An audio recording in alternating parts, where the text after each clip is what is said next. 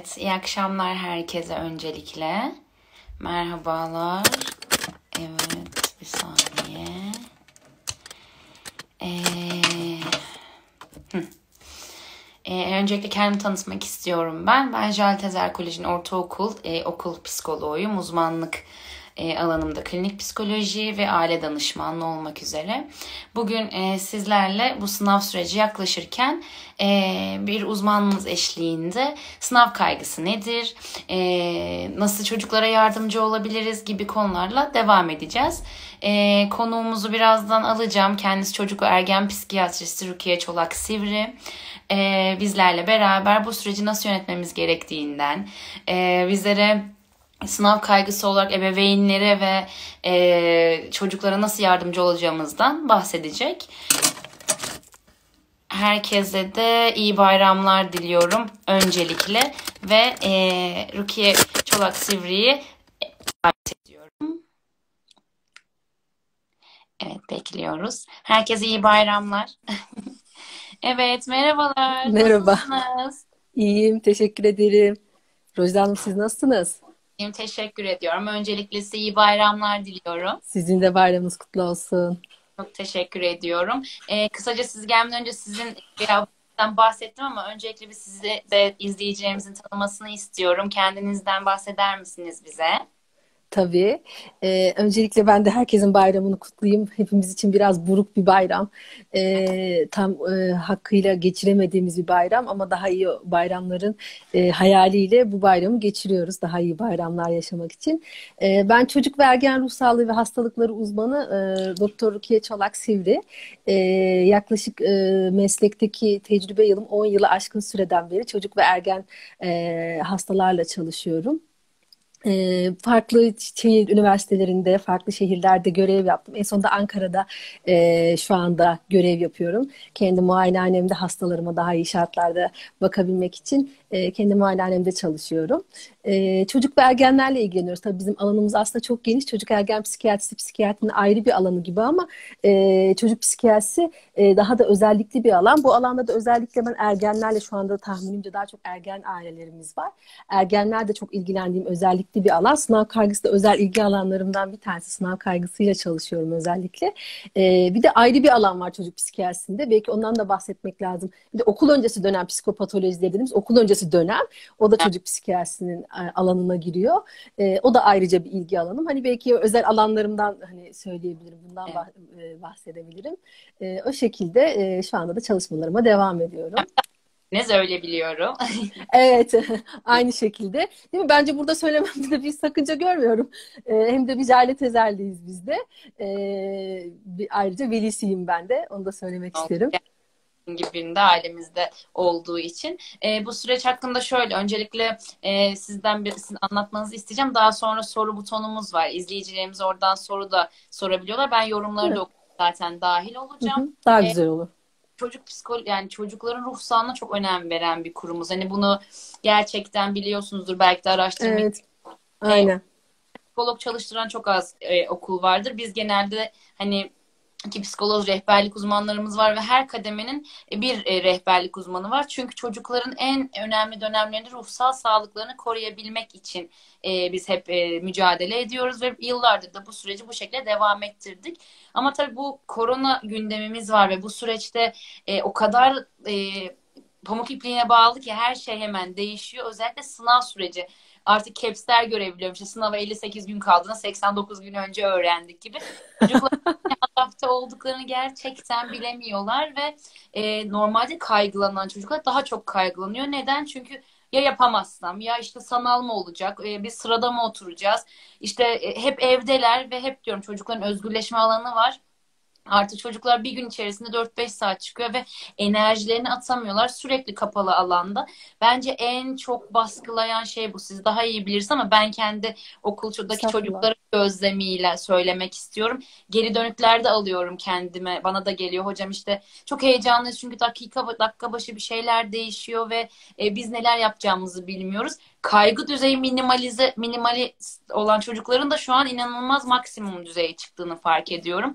Öncelikle şöyle bir şey sorayım. Hani sınav kaygısı nedir? Hani bu hep bir baz alınıyor. İşte herkes bir karın ağrısına sınav kaygısı diyor ama öyle olmadığını siz de biz de çok iyi biliyoruz. Birazcık evet. aydınlatırsanız izleyicilerimiz çok memnun olurum. Ee, çok teşekkür ederim. Bana çok önemli bir nokta burası. Ben çok küçük parantezi söyleyeceğim. Hani dediniz ya kurum olarak hani ruh sağlığına dikkat etmiş olmamız belki sizin tercih nedeniniz de kesinlikle onu çok net söyleyebilirim. Ee, hani onun altını çizeyim. Gerçekten çok çok önemli bir şey. Ee, çocuklar için çocukların ruh sağlığı iyi olacak ki hakikaten süreç e, sağlıklı ilerleyebilsin. Sınav kaygısı nedir? Sınav kaygısı aslında e, biz psikiyatristler tabii e, önce hastalıkları, sorunları hekimler olarak aslında bir kategoriye koyma meyli içerisindeyiz. Aslında sınav kaygısı dediğimiz durum e, bizim DSM dediğimiz bir tanı kitabımız var. Yani biz o kitaba bakarak aslında tanı kriterlerini koyarız ve bu belirli aralıklarla Amerika'nın düzenlediği bir kitap, e, e, bir kılavuz. Bu kılavuzda aslında sınav kaygısı diye bir başlık yok. Yani sınav kaygısı diye bir hastalık yok aslında. Tanımlı bir psikiyatrik hastalık yok. Evet çok meşhur işte hepimizin dilinde, hepimizin e, işte ağzına peletenk olmuş ama böyle bir hastalık yok aslında. Daha doğrusu e, şu sınav dediğimiz olgu da zaten hani son kaç yılın meselesidir. Yani 100 yıl bile demek herhalde insanlık tarihi için e, çok e, yani yeterli olur. Çok daha fazla bir mazisi yok sınavla ilgili endiş konuların ortaya çıkmasının. Ama insanoğlunun aslında sınanma ile ilgili kaygısı çağlardan beri var. Yani beğenilme, onaylanma, bir performans gösterdiğimizde e, işte onun takdir görmesi ya da eleştirilmesi kaygısı, korkusu var. E, burada bu sınanma kaygısı aslında çocuklarda e, bu yaş döneminde, bu dönemde işte sınav esnasında, bu, e, yani yazılı sınav, sözlü sınav neyse o esnada en çok görülmeye başlıyor. Ama aslında biz hayatımız boyunca hep sınanıyoruz. Mesela biz şu anda ikimiz de sınanıyoruz değil mi? Yani bir kaygımız var, bir performans kaygımız var. İşte telaşlanıyoruz. Çok doğal olarak olması gereken bu zaten. Bu olmasa aksi olur, aksi şekilde olsa bu usulüne uygun olmazdı. Ee, böyle bir kaygı duymak e, her insanda olan bir şey. Ama bizim zihnimiz biraz farklı çalışıyor. Yani şöyle e, şu andaki yeni çağ hemen insanoğlu adapte olamıyor. Yeni çağın farklılıklarına, değişikliklerine hemen adapte olamıyor. Niye? Çünkü biz atalarımızdan beri getirdiğimiz sadece o sınanmayla ilgili bir kaygımız var. Yani bir e, durumla karşılaştığımızda başarılı olup olmamakla ilgili olan o kaygımız var. E, ve sınav esnasında bir kişi e, bir işte matematik sorusuyla karşı karşıya kaldığında işte bir Türkçe zorlandığı bir Türkçe paragrafıyla özellikle şimdi bu yeni kuşak sorularda o çocuklar karşı karşıya kaldığında sanki o yıllar önce bizim atalarımızın işte çok tehlikeli bir hayvanla karşı karşıya kalmış gibi, çok tehlikeli bir durumla karşı karşıya kalmış gibi çok benzer bir tepki veriyoruz. Nedir bu? Çok meşhur hepimiz biliyoruz. Savaşta da kaç tepkisi veriyoruz değil mi? Yani kalbimiz çarpmaya başlıyor, elimiz ayağımız titremeye başlıyor. Değil mi? Siz de çok görüyorsunuzdur. Çocuklarda o fiziksel belirtileri çok güzel tarif ediyorlar. Kelebek uçuyor gibi midemde, kalbim yerinden fırlayacak gibi, eli ayağı titreyen çocuklar, sınava bırakan çocuklar. Mide işte daha bu... rahatsızlık görünüyor genelde. Çocuklar mide bulantısı, işte kusacak gibi olma hissi oluyor. Aynen değil mi? Mesela o da şundan dolayı oluyor. O da çok ilginç. Ben hep anlatıyorum hastalarıma. Niye midem bulanacak gibi ya da midem kelebekler uçuşuyor gibi oluyor. Çünkü kalp çok hızlı çalışıyor o sırada ve kan nereye pompalanıyor aslında vücudumuzda o çok heyecan anımızda? Yanaklarımız kıpkırmızı olur, elimiz ayağımız titremeye başlar. Yani kan daha dışarıda, daha dış tarafımıza pompalanıyor ve karnımız daha midenin, vücudun bir merkezi. Oraya daha az kan gittiği için aslında öyle bir his yaratıyor. Aynen dediğiniz gibi midesi bulanıyor kişinin, işte e, boşluk hissi oluyor, mide bulantısı, karın ağrısı gibi belirtiler oluyor. Bunları çocukların bilmesi çok önemli. Niye? Çünkü bu belirtileri de bir sorun olarak atfediyor. Yani aslında bu kaygının bir belirtisi ama hani kalp krizi geçiriyorum diye korkan çocuklar da var. Bana ne oluyor diyen çocuklar da var. Çünkü o sınav esnasında dikkat e, normalde bizim istediğimiz o taska, o göreve odaklanmasını istiyoruz. O soruya odaklanmasını istiyoruz ama dikkat böyle bir şey gibi hani madencilerin böyle feneri oluyor ya. O böyle sınav kağıdından kalkıyor çocuğun kalbine, midesine, ellerine, işte odaklanmaya başlıyor. Yani dikkat e, kaymaya başlıyor o fiziksel belirtilere. Bunu çok önemsiyorum ben bunu. Çünkü çocuklar bunu bilmiyorlar. Ne olduğunu aileler de çok endişeleniyor. Yani size e, ya, belki öğrencilerim de var. Öğrencilerim de bugün heyecanlı benim de olduğum için öğrencilerimin alttan yazılarını da görüyorum. Çok Öyle mi? Evet sizin için değil mi? Bir karşılığı da var. yaparken okul dışından bir tık örneklenme yapmak istiyorum ki en azından şey olmasın, yanlış bir yansıtma yapmayayım. Ama kendimde de o var. Mesela ben her seminere ya da herhangi bir sunuma çıktığım ilk 5 dakika benim e, çalışma arkadaşlarım beni bilir özellikle e, Zümre arkadaşlarım. Bir 5 dakika içerisinde nefesim başlar artmaya işte parasını böyle hızlı hızlı çalışır. Ama konuşacağım insanları ve tanıyorum tanımasam bile yıllardır yaptığım bir iş ama her zaman o kaygı var ve bence hep dediğim gibi onu da size soracağım zaten. Minimalist kaygı ben hep diyorum arabanın marş motoru yani arabaya takılan anahtar gibidir. Hani bilmiyorum siz de onaylar mısınız ama. Kesinlikle. Anahtar gibi. Çok güzel bir benzetme bu arada. Yani o başlatılmadan araba gitmez. Ben demiyorum ki 150 hızla 150 e, km hızı aniden ne olur? Araba birden öne atar. Yavaş yavaş, adım adım. Ve en çok da dikkat ettiğim, gözlemlediğim şeylerden biri kendi çocuklarımda. 6. sınıflar bu sene bende. E, ve onlar benim en sevdiklerim. Buradan çok selam söylüyorum onlara da. E, şey olarak bakın sınav esnasında ilk gözünü kapat ne görüyorsun diyorum çocuklarıma. Ailemi görüyorum diyorlar. Sınav kağıdını görmüyorlar. Çünkü arka tarafta şey var e, aile baskısı yoktur ama hep kendi dediğiniz gibi ispatlama, işte onay alma, beğenilme dürtüsü ve arzusu hep çocukları ne yapıyor? O süreçten geri alıyor yani. Aynen. Ben sarılıp ağlayan çocuklarımı da biliyorum ama bunlar aileden aileleri kötü diye ya da ailelere baskı yapıyor diye değil. Böyle değil. bir ailede ve A tipi kişilik, B tipi kişilik vardır. Siz de biliyorsunuzdur. Ben kendim evet. A tipi kişiliğim. Geç kalmayı sevmem. İnanın yayından 22 dakika önce buradaydım. Hazır mıydınız? Hazırdım. Her... Ben de B son anda buraya oturan. Ben de hemen. Benim de midem bulanır ve ailemde de şu var. Tek çocuğum. Hep böyle en iyisi olma arzusu vardı. Ben 90 falan aldığımda üzülen bir çocuktum. Ama şey, ailem hiç bana baskı yapmadı. Tek benim içimde var. Çünkü aileme hep beğenilme, en iyi ben olacağımı gösteriyordum. Aslında yanlış bir şeymiş. Şimdi çocuklarıma da bunu aşılamaya çalışıyorum. Dediğim kaygının minimalize olması çok yani daha iyidir o bakımdan. Kesinlikle öyle. Çünkü diğer türlü kişi hep yani hiç kaygılanmayan, bir şeye dert etmeyen, birinin sınava kalkıp çalışması, işte ders çalışması, işte sınavda başarılı olması zaten beklenen bir şey değil. Yani kaygılanmak da kötü bir şey değil. Yani e, kaygının kötü bir şey olduğunu, işte korkmanın, kaygılanmanın kötü bir şey olduğunu bazen düşünüyorlar.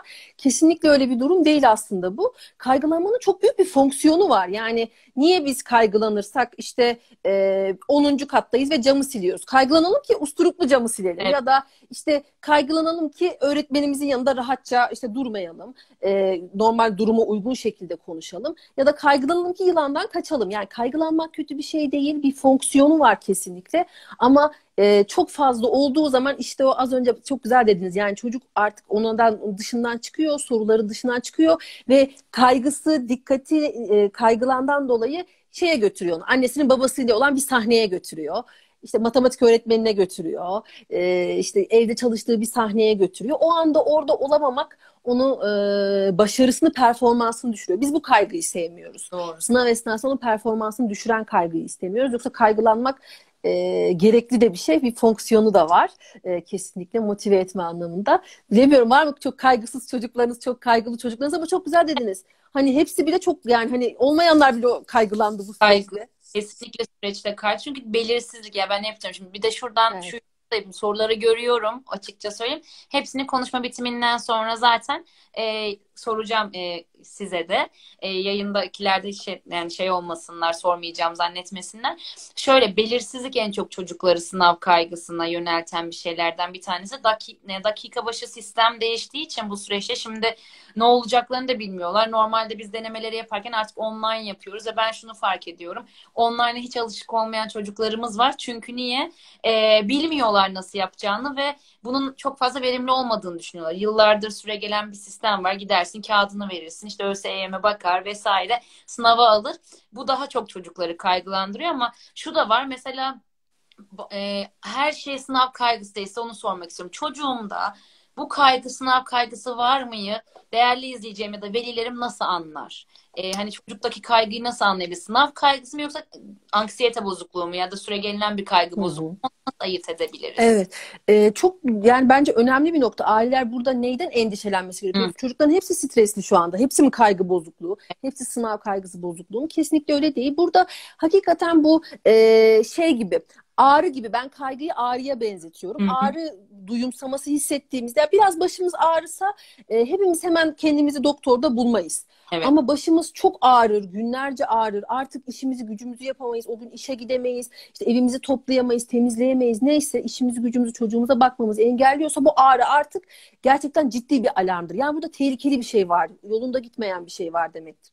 Çocuklarda da özellikle kaygı bozukluklarında çocukların bence bu çok hani böyle anlaşılır bir şey. Çocuğun uykusu bozulur. Yani bir çocuğun uykusu bozuluyorsa, zor uyuyorsa, işte uyanamıyorsa, gece uyanıyorsa mesela bu aileleri alert etmesi gerekir. Yine az önce çok güzel söylediniz. Bu somatik şikayetler diyoruz. İşte bu karın ağrısı, işte o sınav esnasında hani bu çarpıntılar, fiziksel şikayetler artık ayyuka çıkması. Yani çok fazla. Hepimiz mesela siz dediniz ki ben girerim zümreye ama 5 dakika ilk anda bir telaşlanırım. Sonra evet yani dengeye girerim. Ama bu çocuklar dengeye giremiyor biz. Yani sınavın son dakikası oluyor. Hala kağıtlar havada uçuşuyor Hı-hı. falan böyle. Yani sürekli çok gergin. O performansını gösteremiyor vesaire. Böyle bir durum olduğunda çocuklar eğer izleyenler varsa eğer şöyle diyorlar mesela. Bildiklerimi unutuyorum. Ya çok iyi çalışıyorum. Çalıştıklarımı o esnada gösteremiyorum. Bence bu kaygının çok tipik bir örneği. Yani çok tipik ve çok e, yani artık yıkıcı, zarar verici tarafı. Çünkü bir insan çalışmış Değil mi? Hı. Emek harcamış ve onu tam göstermesi gereken zamanda o kaygı onun işine yaramıyor. Bir de ona köstek oluyor. Yani elinden onu çalmış oluyor. Bu gerçekten yani böyle belirtiler varsa özellikle fiziksel işte bu ağrı belirtileri varsa bu e, kesinlikle e, müdahale edilmesi gereken bir kaygı. Tabii burada e, hani çocukların işte sadece sınav zamanında değil çok daha öncesinde de endişeli kaygıları olmaları, başka konularla ilgili de kaygıları olmaları vesaire. Bunlar varsa tabii o zaman başka psikiyatrik, psikolojik sorunlar da olabilir e, kişilerde. E, ama bunu aile ayırt etmesi zor tabii. Hani hangisi vardır, hangisi yoktur. Burada mutlaka bir profesyonel yardım almakta fayda var ama birçok onu söyleyebilirim birçok psikiyatrik sorunla beraberdir. Yani biz ailemize sınav kaygısıyla geldiğinde e, deriz ki yani bunun altında yatan başka bir hani bazalde bir şey var mı? Çocuk yaygın kaygı dediğimiz hı hı. böyle her şeyden çok kaygılanan çocuklar olabiliyorlar. Depresyonda olabiliyorlar. Takıntı hastalığı dediğimiz bir obsesif kompulsif bozukluk var. O çocuklarda çok sık görülüyor bu. Çünkü zaten her şeyi böyle çok mükemmeliyetçi, iyi olması, çok yüksek standartlar, çok idealize böyle vesaire beklentiler onu karşılamakla ilgili kaygılı olabilir. Özellikle yine benim çok gördüğüm, bu da çok zaten sık görülen e, de bir psikolojik sorun. Dikkat eksikliği, hiperaktivite bozukluğu dediğimiz bir problem var.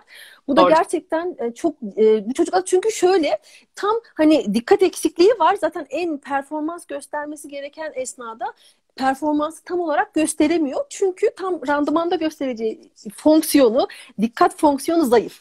E böyle olduğu için bunu biliyor. Bir sürü başarısız sınav deneyimi var. Üst üste eklenmiş hep olumsuz geri bildirimler. O kişilerin de kaygıları daha da çok artıyor.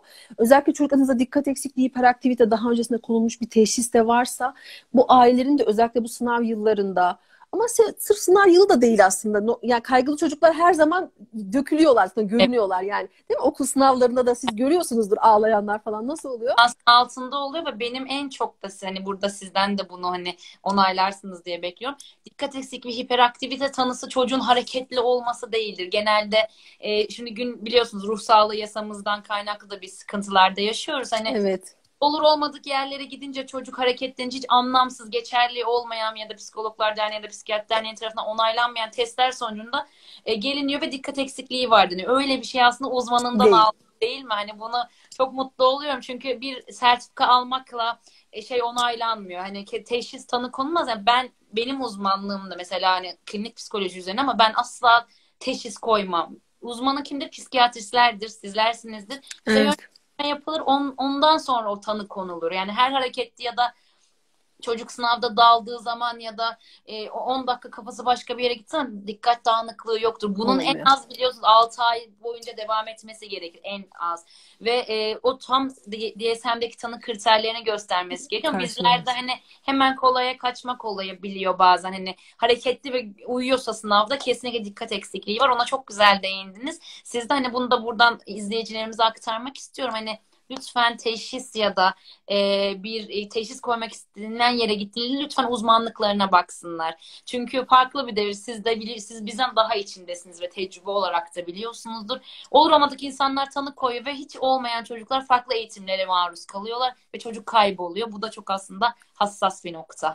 Kesinlikle öyle.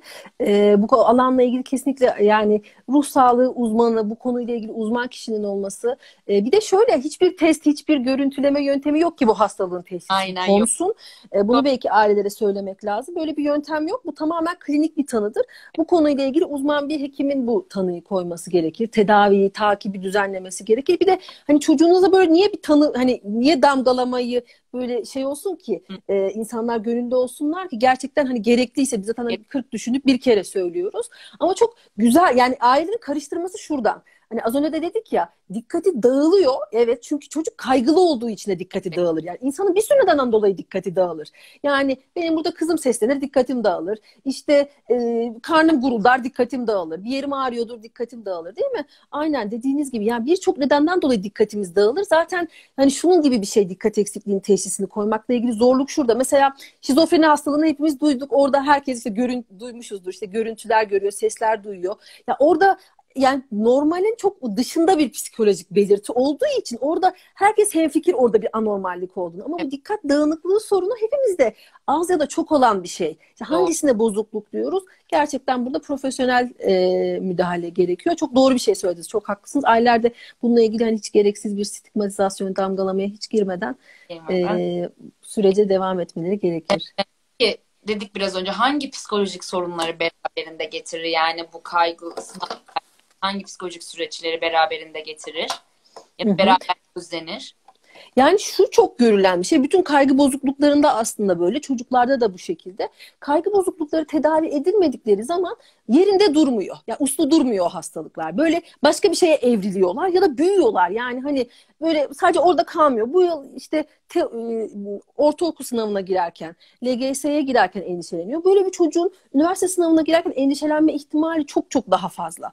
Ama kliniği çok daha yani nasıl belirtileri gösterdiği belirtiler çok daha ağırlaşabiliyor. Artık panik ataklar geçiren, sınava giremeyen, e, böyle annesi babası okullara gelen vesaire öyle durumlara evrilebiliyor. Onun için mutlaka tedavi etmek gerekir. Ya da daha ciddi işte depresyon gibi kişinin artık hani öz saygısının düşmesi, hayattan beklentisinin düşmesi gibi çok daha yıkıcı yani hayat kalitesini de yıkıcı, beynen de yıkıcı aslında. Bunların yani tamamen be, beyinde de bir karşılığı var. Yani çocuğun hakikaten beyninde diyorum ki ben epilepsi nöbeti geçiren birinin nasıl beyni yavaş yavaş yıkılıyorsa bir psikolojik sorun bu kaygı sorunu da olsun, depresyon da olsun çocukta hele küçücük bir çocukta daha 18 yaş altında bir çocukta gerçekten çocuğun beynine zarar veriyor. Böyle bir zarar da var. Hayatı kalitesini etkilemesi cabası zaten. Ee, fazlasıyla siz de görüyorsunuz. Nedenlerinden bahsettik ama istiyorsan spesifik olarak da sınav kaygısının nedenlerinin hani bu işte beğenilme arzusu ya da onay alma arzusunun dışında mesela genetik e, bir yapısı var mı diye bir soru gördüm ilk başta. Hani onu hep kafama e, attım ama genetik bir yatkınlık olabilir mi diyorlar sınav kaygısıyla alakalı. Ben bir taraftan soruları okuyorum. Şöyle e, kaygı bozukluklarının genetik yatkınlığı çok fazla. Ben hep şu örneği veririm ailelere. Yani anneye bakarız anne ya da baba biri kaygılı çocukta da kaygı belirtileri var. Evet. Ve aile o kaygı belirtileri çocuklarında görünce zannediyorlar ki hani beni gördü ondan dolayı yaptı. Ben yani şunu derim. E, eğer sizi hiç görmeseydi, diyelim ki Allah korusun siz vefat ettiniz ve çocuğunuz evlatlık edindi. Yine çocuğunuz çok büyük ihtimalle böyle olacaktı. Çünkü bunun genetik geçişi çok fazla. Huyumuz, suyumuz, mizacımız, psikolojik yatkınlığımız bizim kaşımızdan, gözümüzden, işte tipimizden, annemize geçen geneden çok çok daha fazla. Bu bilimsel olarak ispatlanmış bir şey. Çok çok daha fazla gen genetik olarak aktarılıyor. O nedenden dolayı sınav kaygısı genetik olarak aktarılır diyemem. Çünkü sınav kaygısı diye bir tanı yok. yok. Ama kaygılı olmak aktarılır. Kesinlikle aktarılır. İşte burada zaten kaygılı çocukların, kaygı sınav kaygısı yaşayan çocukların da kaygılı anne babaları oluyorlar. E, kaygılı anne babaları olduğu için de bu yansıma çocuğun o çok güzel dediniz ya sınava girdi ve işte o hayal, hayal o tahayyül ettiği bir sahne var. Ben de böyle hep sırtında bir kambur gibi anlatırım onu. Yani buraya anne binmiş, buraya baba binmiş, buraya işte öğretmen binmiş. Zaten kendi yükü kendine zaten çökmeye eğimli, kaygılı. Bir de buna üstlerine daha bindiği için daha da kaygılı oluyor. Anne babaları da kaygıları çocukları çok etkiliyor kesinlikle Dinler çok önemli bir nokta. Hani evet hiç evde ben hep diyorum ya sınavdan sıfır da alabilirsin. Ee, onu da yapabilirsin. Hiç önemli değil. Önemli olan senin sağlığın. Zaten sen kendini bildikten sonra sınavda kendini gösterirsin. Ama hep geri aldığım bildirimler 6. sınıf sadece 6. sınıflar değil diğer öğrenciler de, de hani görüştüğüm için söylüyorum. Ee, hani evdekilere de söyleyeceğim. Yani ebeveynin aslında bir bakışı bile ben hep diyorum çocuklarınızla göz teması kurarak konuşun ki çocuklar ne istediğini, ne hissettiğinizi de anlasın. Sadece sözde olmuyor bu süreç. Yani o dediğiniz gibi ebeveynler inanılmaz fark ettirmeden çocuklarınızdan çok yük yüklüyorlar. Hani bunu çok çok iyi İmalar böyle trip atmalar, laf sokmalar işte. Saatte kaç oldular falan böyle. Değil mi? Telefonu bırak dersini çalışacaksın. Sorumluluğu ilk başta yüklediği zaman e, veli çocuklarına ya da ebeveynler daha rahat ediyorlar aslında. Tabii ki teknoloji çağı çocukları bizim gibi değiller. Değil. Uyaranlar çok fazla. Çok. E, dikkatlerini dağıtacağı şeyler çok fazla ve erken olgunlaşıyorlar. Bunun da dezavantajı var. Kesin, yani ebeveynleri çok iyi anlıyorum. Ama dediğim gibi çok fazla sıktığınız zaman çocuk o kadar fazla o mah mahrem yani mahrumiyetten kaçmak isteyecektir. Aynen. Hı, Buyurun. Yani herkesin motivasyon e, yöntemleri farklı. Yani aileler zannediyorlar ki işte böyle biraz kulağını bükünce, biraz işte böyle hani sıkıştırınca ya da işte biraz üstüne gidince daha başarılı olacaklar. Aslında böyle şöyle bir yanılgı oluyor onlarda. Evet birkaç gün çocuk daha iyi oluyor. Anne baba da diyor ki ha işe yaradı diyor. Ama Anlık. bizim hedefi evet anlık yani bir gün iki gün ama bizim hedefimiz aslında uzun vadede. Uzun vadede ne getiriyor bu aslında? Ee, bu sınavla ilgili olan materyalden, durumdan çocuğun kendisini çekmesi, işte bununla durumla ilgili bir daha yani sürekli işte İskender'i çok seviyorsun ama sürekli İskender ye diyen biri var başında. Ya o zaman yemeyeceğim olursun. Hepimiz kendimizden biliriz değil mi? Annemiz bir şeye çok ısrar edince onu yiyesimiz varsa bile biraz İnan- yemeyiz. Meyiz yani. Mi? Bu insan psikolojisinde çünkü. Aslında biraz da biz böyle yapıyoruz. İşte burada anne babaların o kendi fark yani bir de zor bir şey. Yani şimdi burada benim hani çocuğum küçük daha işte bekara hanımını da boşaması kolay derler ya. Şimdi büyük ailelere tabii öneriler veriyoruz ama e, bu gerçekten önemli. Ailelerin burada kendi farkındalıkları çok önemli. Şunu çok yapıyorlar. Ben onu görüyorum. İşte tabii ister istemez e, maddi, manevi hani her türlü destek oluyorlar bu çocukların bu okula gitmiş olmalarıyla ilgili işte dersleri, kıyafet, yani her şeyle çok büyük bir maddi şey sağlıyorlar. Kesinlikle öyle olması da gerekiyor zaten. Ama bunu bazen böyle çocukla yüzleştiriyorlar. E, o zaman bu çocuk için ayrıca ayrıca bir yük olmaya başlıyor. Ama aslında bu, bu ailenin tercihi yani o öyle bir ok- A okuluna B okuluna yollamak ya da öyle bir şey olması ailenin tercihi e, olmuş oluyor. Yani çocuğun çok büyük bir mutlaka ki istisnalar vardır ama çocuğun çok büyük bir beklentisiyle genellikle olmuyor. E, aile bunu sağladığı için bunu ayrıca çocuk eğitim alma hakkı çocuğun hakkı. Yani bunu ayrıca çocuğa bir yük yaratmamak, e, işte sürekli söylenen böyle işte e, şikayet eden bir ebeveyn rolü gerçekten çok öfkelendiriyor çocukları, karşı tepki oluşturuyor. En azından hani zaten çocuğun yükü fazla. Çok güzel dediniz. Yani bu korona süreci bu yıl bence ya böyle pe- iyice perçinlendi yani. Ya belirsizliğe tahammülsüzlük var. Tarih sürekli değişiyor. Yani koronadan mı endişelensin, anası babası dışarı çalışıyor diye bana mı geçer, ben mi geçiririm diye endişelensin. Çocuk zaten neye endişelensin? Zaten kamburunda yükler çok fazla. Ee, biz olabildiğince daha az yük yaratacak bir ebeveynlik rolüne geçmek lazım. Ama zor bir şey bu. Kesinlikle kabul ediyorum bunu da. Son zamanlar çok iç içe oluyor ebeveynler. Genelde okulda normalde bizde 8-20 işte 4,5 dediğiniz zaman bayağı bir süreçte okulda oluyorlardı Tabii. ve atıyorlar. Şimdi aileler, ebeveynler beraberler çocuklarıyla. Ee, çocuğun stresini de bence anladıkları için olumlu ya da olumsuz etkileri olacaktır. Bazı veliler hani farklı sınıflardan, seviyelerden konuştuğumuz zaman bana diyorlar ki ya bakıyorum ve çocuğum çok stresli, çok üzülüyorum. Aslında velide de farkındalık uyanıyor, ebeveynde de. Bazı Fark etmemiş. Evet fark etmemiş çünkü çocuk gerçekten hani 7-24 kitap üzerinde. Hani ben kendimden de işte küçük zamanında biliyorum. Şimdi de bakıyorum ki bazıları diyor ki "Aa, hiç çalışmıyor gibi ama çocuk aslında zeki. Yani ben hep şunu burada ebeveynlere önerilerinizi isteyecektim. Onu istemeden önce ben de bir şey söylemek istiyorum. 7-24 kitabın başında olmak demek, sınava çok güzel çalışmak demek değil. Her çocuk bir, herkes farklıdır ve biriciktir. Herkesin anlama kapasitesi farklıdır. Siz çocuğa sürekli 7-24 kitabın üzerine yüklen ve ödevini yap derseniz çocuk dersten sor. Yanlışsam hani lütfen. Kesinlikle.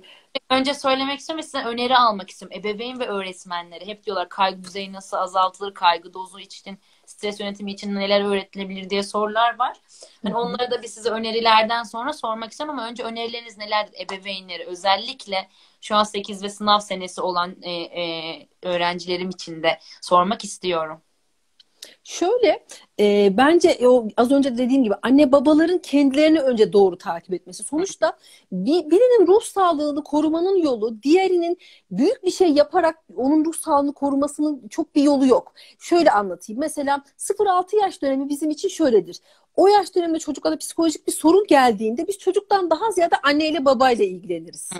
Çünkü çocuğun duygularını yönetme becerisi, işte öfkesini neyse o psikolojik sorun o çoğu zaman anne baba ebeveyn figürü üstünden yürür.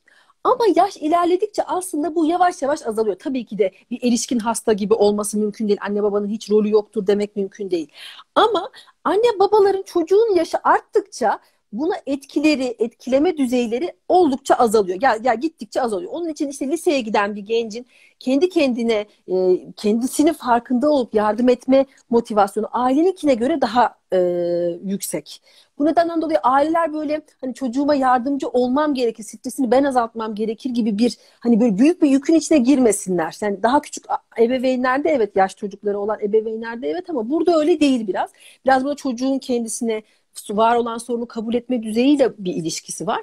E, ama biz neler yapacağız? Çünkü evde işte sinirlenen, ağlayan, duygusallaşan, çökkünleşen bazen zaman zaman bir ergen var. Burada bence bu yani psikolojinin ve psikiyatrinin en altın noktası anlaşılma isteği hepimizde bu değil mi ya mesela ben şu anda derdimi anlatmaya çalışıyorum. Siz derdinizi anlatmaya çalışıyorsunuz. Hepimiz anlaşılma isteği insanı çok psikolojik olarak rahatlatan, anlaşıldığını hissetmek çok rahatlatan bir şey.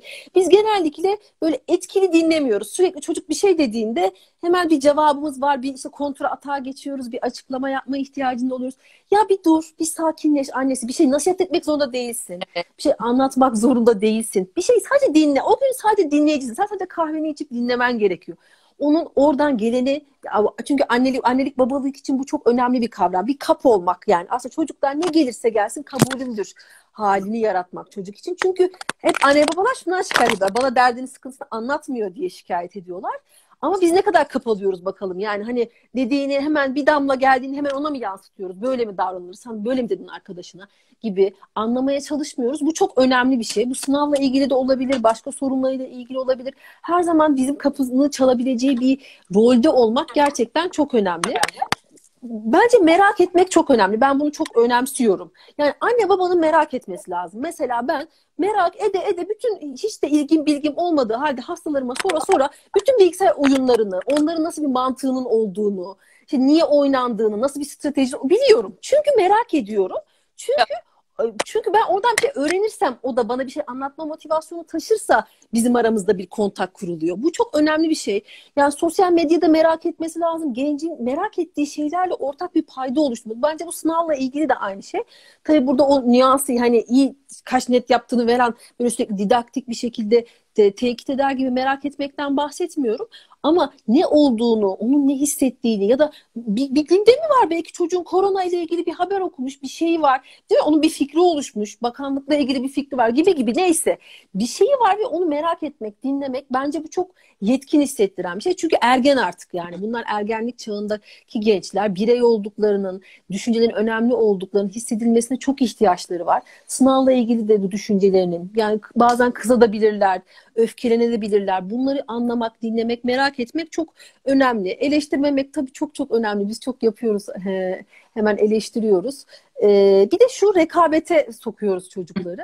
Kendimiz de rekabet ediyoruz çünkü diğer velilerle beraber. Rekabete girmemek ve hakikaten hani her çocuğun kendi bireysel e, değeri içerisinde değerlendirmek diyebilirim. Tabii çok söylenecek şey var belki ama belki zamanımızı daha iktisatlı kullanmak için. evet ben çok saza aldım gidiyorum. Aynen. Siz frenleyin beni. Ee, şey şimdi veli sorulara geçeyim şu şekilde. Ee, yani çok fazla şey mesela diyorlar ki e, de en çok şunu da ben bunu da sorular arasında gördüm. İlaç konusunda çok takılıyoruz bazen ama e, aslında bana göre hani ilaç evet e, gerektiği zaman gerekli bir şey. Sizin uzmanlıkınız bunu size sormak istiyorum. Mesela genelde şey yazmışlar işte alttaki yorumlarda hemen ilaç verilmek isteniyor.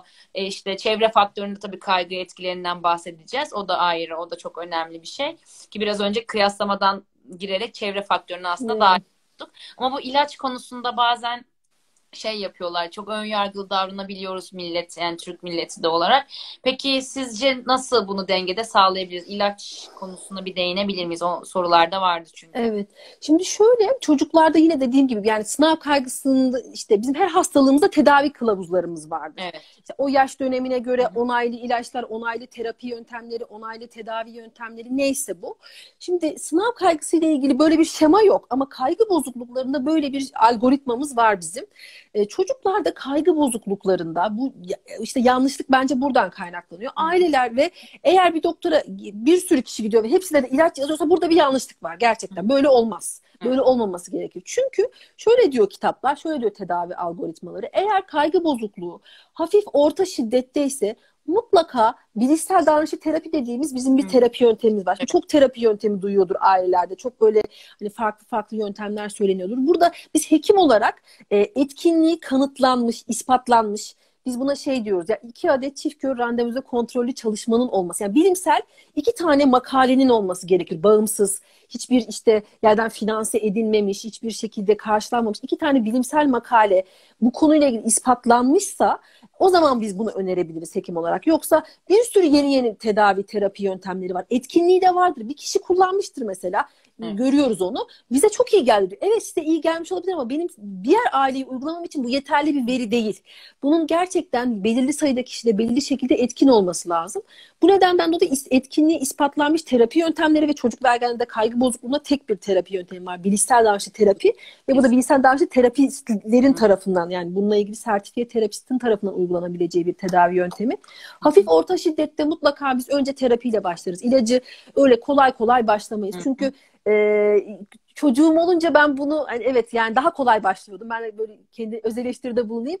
Öyle olmuyor. Yani hani e, yani bir daha bunun başka bir yolu var mıdırı düşünmek gerekir. Kesinlikle bence psikiyatrist olarak da düşünmek gerekir. Ama gerektiğinde kullanmak gerekir mi? Kesinlikle kullanmak gerekiyor. Evet ben yani e, kesinlikle öyle. Et, fayda zarar hesabını yana yan yana koyduğunda çocukta çok ağır panik ataklar var. Çok kaygılı, çok Hı. endişeli. Yani onda o kadar zamanın yok artık o süreci yönetmeye Mental ilgili. olarak biz yani mental bir retardasyon varsa ya da herhangi bir özgürlüğü öğrenme güçlüğüdür. İşte dikkat hiperaktivitenin tavan yaptığı bir süreçtir. Hani o zamanlarda evet ilaca kesinlikle en azından şöyle bir şey e, çocuğu kaybetmemiş oluyoruz. Evet genç yaşta başladığı zaman önlem al. Ben hep diyorum bir inşaat binasına benzetiyorum. Genel çocukları da bunları anlatıyorum. Temelini kum koyup inşaatı tamamlamaya çalışırsan o bina çöker. O yüzden temelini sağlamlaştırıp binayı yükseltirsen eğer gelecekte çok çok daha rahat edersin diyorum. Bu evet. da ilaç da buna benziyor galiba. Bir soru evet. daha var. E, işte sınava girecek çocukların bilgisayar oynamalarına izin vermeli miyiz? Ne kadar süre vermeliyiz? E, pandemi süreci. Siz ne diyorsunuz? Siz ne diyorsunuz bu soruya? Ya şu şekilde şimdi normalde hani tanıdığım bir de veliyim hani çok da selam evet. buradan aynen e, soruyu soran da çok da yakinen takip etmiştim ben. E, şimdi şu, şu öyle bir süreçteyiz ki çocuk enerjisini dışarı çıktığında atabilirdi. Hani şu an ben artık şey pandemi süreci içerisinde bakıyorum. Evet saat şimdi çocuğun da şeyine bakmak lazım dürtüsüne. Saatlerce başından kaldıramıyorsanız kesinlikle ben buna karşı bir insanım. Ama bir çocuk 20 dakikalık sürecini bilip 19 dakika 40 saniyesinde kalkıp gidebiliyorsa o çocuk için o 20 dakikalık ya da yarım evet. saatlik bir es çok iyi gelebiliyor. Benim hani fikrim bu. Ama o çocuk bir başladı mı devamı geliyorsa e, verilmemesi gerekiyor yani. E, o o öbür dediğiniz zaten hani bağımlılık olmaya başlıyor. Evet bağımlılığa başlıyor. İnternet Aynen. bağımlılığı diye mesela bir tanı var. Onu söyleyebilirim. Psikiyerde de tanımlanmış bir e, artık bir bozukluk var, sorun var. Eğer bu boyutta oluyorsa saatleri e, kesinlikle öyle. Şu anda da tabii süre anlamında yani e, yani 2 1 2 saati geçmesin onu söyleyebiliriz süre anlamında kısıtlama anlamında. Aynen. Niye? Çünkü e, dikkatlerini dikkatlerini sürdürmelerini çok zorlaştıran bir şey ekran. E, çocukların gün içerisindeki performansını, gün içindeki randımanı bozuyor diyorum ben. O Hı-hı. sırada ekrana maruz kalmış olmak. Ee, ama hani gerçekten çok böyle özellikli de bir zamandayız. Alternatifi de yoksa çocuğa sunabileceğimiz. Ya tamam bilgisayar oynamayın da ne yapayım? Anne Doğru. diyorsa, baba diyorsa da Biraz orada evet herhalde daha gevşek olmak ama sınır bence kesinlikle doğru söylüyorsun. Saat sınırı hep daha öncesinde anlaşmak, Hı-hı. bu saati netleştirmek. Bunun evet. pazarlığı yok, işte esnetmesi yok, uzaması yok gibi. Bir de neye girdiklerini, neyi yaptıklarını ailenin haberdar olması bir de o çok önemli. Ben o konuyu çok önemsiyorum. Kesinlikle o da çok güzel bir takip. Ya evet. kontrollü ben hep diyorum kontrollü teknoloji sağlanması lazım evde. E, sorulardan diğerleri e, biri kaygıyı nasıl kontrol edebiliriz diye bir sorun var. Hı hı. E, daha sonra son bir hafta içerisinde neler yapılmalı? Sınava son bir hafta kala neler yapılmalı? E, sınavdan bir gün önce mide bulantısı baş ağrısı oluyor. Sınavda 5 soru çözdükten sonra geçiyor. Ondan sonra evet sadece psikiyatrik ilaç mı diye sorduk. Hayır BDT yani bilişsel davranış terapi de uygulanabilir diye cevapladık zaten. Hatta uygulanmalı yani mutlaka hafif orta olan çocukların mutlaka bunu uygulanması, ilaç Hı hı. almaması gerekir. Aynen. İlaç ağır grupta olması gerekir. Evet. Doğru söylüyorsunuz. Ee, her sayısal bölüme girdiğimde yetişeceğimi düşünüyorum. Tam buradaki soruları ben hemen hafızaya attım. Teker teker Süper. Ben şimdi Ee, nasıl Aynen hemen burada sayıyı çözdüm. Ee, psikiyatrik ilaç dedik dediğimiz gibi e, tek ayaklı olmuyor. Gerektiği zaman kullanılması gerekiyor. İkincisi sınava bir hafta kala e, neler yapılmalı? Kendi hemen çocukluğuma gittim ve hatırladım sınav zamanlarımı. E, bir hafta kala neler yapılmalı? Neler yapmalıyız? Kaygısını azaltmak için diye bir sorumuz var. Onu size bir yönelteyim Ee, hocam. yani bir hafta kala değil şimdiden yapsınlar. Bence en Aynen. önemlisi şu hani sınav hafta sonu olacak değil mi ben yanlış bilmiyorsam? Öyle biliyorum Değil evet. mi? Yani hafta sonu olacağı için tabii şu anda yine normal okul rutinimiz gibi değil işte hafta içleri erken kalkıp hafta sonları yatmak gibi değil ama şu andaki bütün rutinimiz hep hafta sonu yani tatil modu gibi. O nedenden dolayı bütün gençler şu an yani bugünden itibaren bu akşamdan itibaren uyku düzeni hakikaten çok beylik bir laf oldu Hı. böyle herkesin dilinde ama e, bu erken yatıp erken kalkma meselesi gerçekten ya bu bilimsel olarak da ispatlanmış bir şey Evet. çok önemli. Lütfen şu uykudan bir tasarruf etme çabası içerisinde olmayın. Uykudan tasarruf olmaz. Ben bunu çok görüyorum ailelerinde işte daha az uyuyarak yani bir insan daha kendini sıkarak daha az uyuyarak daha başarılı olması diye bir psikiyatrik psikolojik bir antite yok. Böyle bir durum yok. Bence buna dikkat etmeleri çok önemli şu an içerisinde. Bir de zaten Ee, zaman mesela Nim, e, Nimet öğretmenim yayında izliyor. O da 8'lerin rehber öğretmeni. Bir hafta çok geç bir zaman diyor. Sınav grubuyla evet evet evet çalıştığı evet için yani hani zaten ne kalmış? Aynen. zaman önceden yapılması gerekiyor ve e, bir soru daha almıştım. Ben burada maske takılmasından bahsedilmiş ama bildiğim kadar sınav süresince maske çıkarılabilecek. Sınav anında illa maske, yani çocuklarda maske kaygı yaratır mı diye çok güzel bir soru aldım hani bu pandemi süreciyle. Hı hı. Tabii ki yani çocukta yaratır çünkü nefes alıp verme düzeni değişecek ama bildiğim kadarıyla sınav esnasında o maske takılmayacak diye biliyorum ben. Bilmiyorum sizin de bilginiz var mı? Bu dediğinizle ilgili spesifik bir bilgim yok ama hani çok mantık yani çıkarsa çok bir mantığının olacağını da düşünmüyorum. Yani biraz daha hani hekim olarak enfeksiyon tarafı Aynen öbür tarafla kapalı ve açık olmasına bir mantığını düşünmüyorum. Bu da şöyle. Şimdi zaten bizim çocuklarımız kaygılı. Hani kaygıda dedik ya sürekli hı. hızlı hızlı nefes alma verme var. Zaten normal şimdi hayatımızda maske girdi gireli hepimizde sanki bir nefes yetmiyormuş gibi böyle bir hani haldeyiz değil mi? Yani hani o sonuçta bir tam yüzde yüz oksijeni alamıyoruz. Evet. Tam randımanında alamıyoruz. Hı hı. Bu biraz işi zorlaştırabilir diye düşünüyorum. Özellikle kaygılı çocuklarda zaten hani bir hızlı hızlı nefes alma ilk o Hı hı. 5-10 dakika endişelenme hali olacağı için. Şu, çok güzel onu bence onu unutmasınlar. Sınav esnasında da ilk o sınava girdiklerinde ilk o 5-10 dakikalık kaygılanma hali zaten çok normal. Normal. Orada biraz hak versinler kendilerine. Çünkü yani o dediğim gibi insan zihni şunu ayırt edemiyor. Aslan mı gördüm, matematik sorusunu mu gördüm mü Gördüm. ayırt edemiyor. Ve alarm sistemleri zıngır zıngır çalmaya başlıyor. İşte küt Aynen. küt küt atmaya başlıyor. Bir o sırada adını sorsam bilemeyeceğim diyeceğim çocuklar var. Ama vücutta şöyle bir mekanizması var. Yani biz istesek de kendimizi sıksak da aslında 5 ya da 10 dakikadan daha fazla uzun süre sürekli böyle alarmlarımız çalmıyor. Çünkü vücudun bir termostat sistemi var ve hemen o sırada o alarm sistemini susturmaya yönelik. Hı hı. Biraz o sırada işte hep o kolay işte yerden başlayın, istediğin Hı hı. işte daha becerebildiklerinden başlayın dediğimiz o. Çünkü hani o ilk 5-10 dakika o alarmlar çalarken biraz daha kolay bir şey yap. Çünkü bir de zor bir şey yaparsan alarmı iyice hani böyle ayyuka çıkarırsın. Hı. Ama Doğru. 5-10 dakika sonrasında gerçekten çoğu kişide geçiyor bu. Geçen bir şey. Kendine de deneyimleyebilirler. Deneyimleyen bir şey. Aynen ama bu süreç içerisinde bir de belki onu söyleyebilirim. Ee, nefes egzersizleri bununla ilgili çok uygulama var. Çok doğru olanlar da var. Çok yanlış olanlar da var. Ee, burada uygun nefes egzersizlerini şu andan itibaren yapmaları. Hatta şu an bile oldukça geç. Evet. Hani bir an önce başlamaları ve bu böyle kaygılandıklarında değil. Normal bir rutin olarak sabah akşamları e, yapmak gerekir. Böyle e, işte e, daha öncesinde bir bununla ilgili. Çünkü şöyle tam o sırada nefes egzersizi, sınav esnasında nefes egzersizi yap. Yok ya daha önce hiç yapmamışsın. Hiçbir tecrüben yok ve Evet. yap deyince Nasıl? olmuyor. Evet. Peki.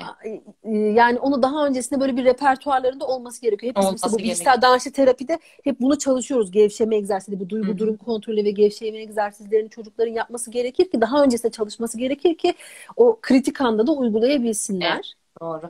Bir çok güzel bir şey daha aldım. E, sanırım işte çocuklarımıza sınav başındaki kaygının iyi olduğunu anlatmalıyız. Bunu zaten burada çok vurguladık. E, ben hep diyorum beş, ilk 5 dakika hafızanı sinir. Benim rutinim vardı. Hani bunu burada paylaşacağım. Öğrencilerim de duyacak ama ben küçükken notlarımı yastığımın altına koyardım ki gece uyandığımda hemen bakayım görsel olarak kodlayayım. Şimdi birinin görsel Hmm. hafızası iyidir, birinin işitsel hafızası çok iyidir, birinin farklı hafızaları ve şeydim yani küçükken öyle bir inancım vardı sanki gece uyurken kafama girecek o bilgiler ve bu benim şey şansım gibiydi. Ee, burada da mesela ben böyle baş edebiliyordum. Yani gece uyanıp aniden baktığımda çünkü mükemmelliyetçi bir yapım var. Gece uyanıp aniden baktığım zaman e, unutmayacağımı düşünüyordum. Burada da o soru gibi bir şey gelmişti. Nasıl baş edecekleri konusunda. Benim baş etme yöntemim buydu. Değil mi? Çok Ee, güzel bir şey söylediniz. Aslında kaygıyla baş etme Etme. Onun yöntemi. hakkında neler Benim söyle. için ben böyle yapıyordum. Burada Hı hı. şimdi kaygıyla baş etmek için genellikle yaptığımız şey bizim aslında şu. Ee, kaygı orada ve bir hedef var orada. Hı İşte hı. yukarıda duran bir hedef var ve orayı işte yapabilecek miyim, yapamayacak mıyım? Niye kaygılanıyoruz aslında? Evet. Şundan dolayı kaygılanıyoruz. Gerçek hayatta bizim öngördüğümüz durumun dışında bir şey. Hepimiz çok iyi biliyoruz ki Türkiye'nin en zeki çocuğu da olsan, hiç kaygılanmasan da yine birinci olma ihtimalin yok. Yani en başarılı olma ihtimali ya da başarılı olma ihtimalin de yok. Yani bizim aklımıza gelen ben öyle derim ailelere. Ya benim aklıma gelen, senin aklına gelen annesi çocuğun da aklına geliyor. Yani ne kadar iyi olursa olsun o başarısız olacağım düşüncesi kişiyi zaten down eden, kaygılandıran bir şey. Ee, burada hedefe odaklanmak değil, Burada son yani bir bir yer var işte Hacettepe Tıp ne bileyim işte hı. e, ODTÜ Bilgisayar Mühendisliği e, gibi böyle hani çok beylik bölümler söyledim e, gibi bir yer değil. Ben oraya gitmem için hep vardı. Hedef burasıysa benim o basamakları çıkmam gerekiyor. Hı hı. Benim e, oraya ulaşmam için önüme bakmam gerekiyor. Ya yoksa takılır düşerim. Hı. Yani çocukların da aslında bu zihinleri işte hep o andan uzaklaşıp hep bir Hı. sonraki basamağa gidiyorlar, zıplıyorlar. İnsan zihni böyle çalışıyor. Hı. Ama burada benim kontrol ede kontrol edememezlik bizi. O belirsizliğe tahammülsüzlük dediğim var ya e, kontrol edememezlik bizi e, başarısız yapıyor. Kontrol edebileceğimiz ne? Bizim mesela şu anda kontrol edebileceğim yarınki günümü kontrol Evet. edebilirim. Bütün çocuklar yarınki gününü kontrol edebilirler. Yani bir önümdeki basamağa ben önüme bakmazsam düşerim. Yani Düşer. Önümüze odaklanmamız lazım. Basamakları çıkarken Hı. üst basamağa bakıp sürekli onun kaygısını duymaktansa e, bu ona odaklanmak gerekir ama tabii bunun zihinsel olarak ya böyle deyince hemen işe olmadığını, etkisinin olmadığını, hani bunu çalışmak gerektiğini, çocuğun bununla ilgili e, bir süreç içerisinde olması gerektiğini farkındayım ama asıl hani bütün trik nokta bu. Önümüze bakmak, yapabileceğimiz, kontrol edebileceklerimiz. Uykumuzu kontrol edebiliriz. Hı. Nasıl edebiliriz? Evet hani uyumayan bir insanı hani zorla uyutamayız ama uyuyan bir insanı sabah kaldırabiliriz. Kaldırabiliriz. sesleniyorum. Lütfen Rutinini sabahları değiştirmiş olursunuz. o. Aynen sabahları kaldırabilirsiniz yani. Çocuklar kusura bakmayın bak akşamda işte e, doktor ablanız da söyledi, psikolog ablanız da söyledi. Lütfen kalkın diye bir şey yapabilir değil mi? Davranışsal Evet. müdahale aslında orada önemli. Gibi biz kontrol edebileceklerimize odaklanmak. Beslenme, uyku, e, ekranı olabildiğince minimize etmek e, bu süre içerisinde. Yani olabildiğince yani onları dengeye kurabilecekleri boyutta.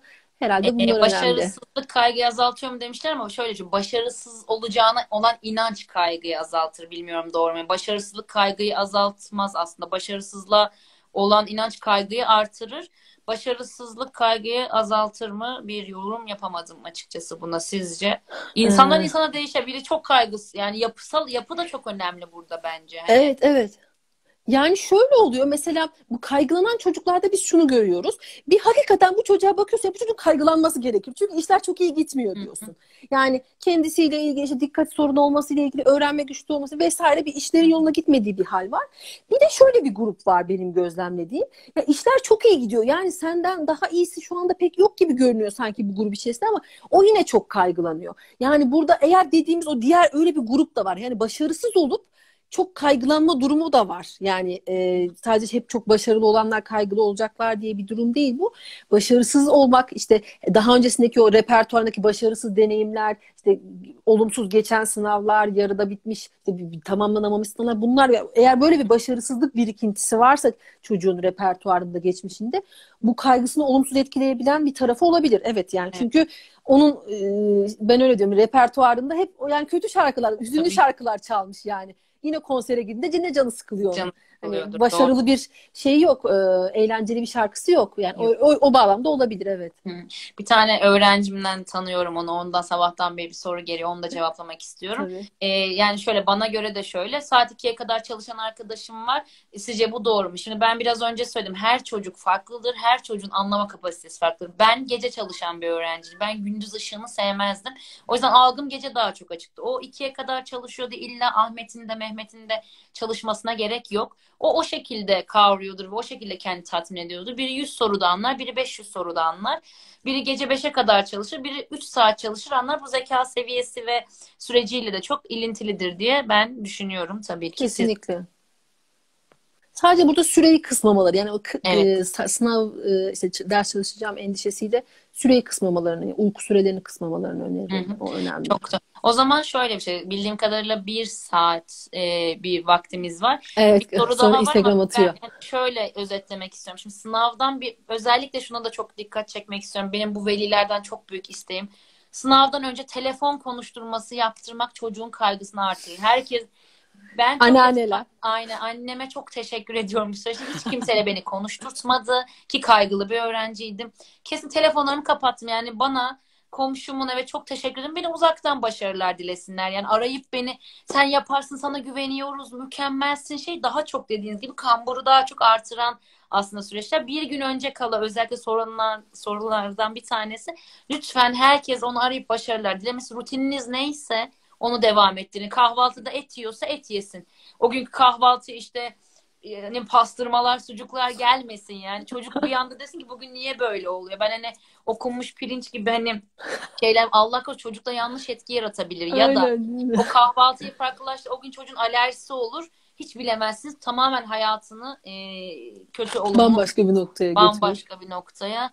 Son Kesinlikle. sorular geliyor ama artık hani bunları zaten cevapladık dediğim gibi. DM'den sorabilirler. Belki hani öyle bir Evet evet şeyimiz isterlerse olabilir. bize DM'den alttan da Aynen. sorular geliyor. Soru butonundan geliyor.